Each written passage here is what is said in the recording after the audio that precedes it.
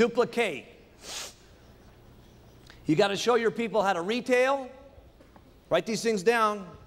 Giving you the stuff that got me rich. You got to teach them how to recruit. You got to teach them how to do a meeting. You got to get them and show them how to do a training.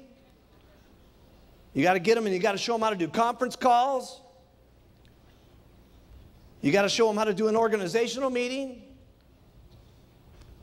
And then we'll take over from there and help them get to the corporate schools. And then I'll, I'll make sure that they know how to do the chairman's classes, the extravaganzas, and the summit. And I'll do that for you.